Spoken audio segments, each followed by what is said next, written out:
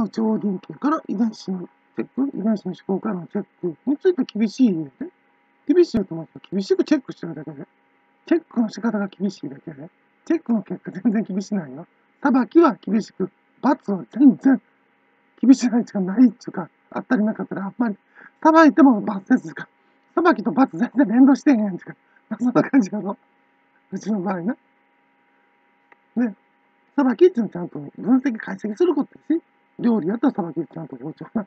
しかるべき、あるべき場所に包丁スッと通さない。裁きになれ。それ裁くってそういう意味で魚さばく。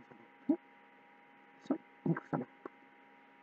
まあ、精神病になったらさ、包丁もしばらく握らせてもらわれへんやけどな。まあでも、それでも、私たちはその、料理種族やから、他の人の料理なんかできるか？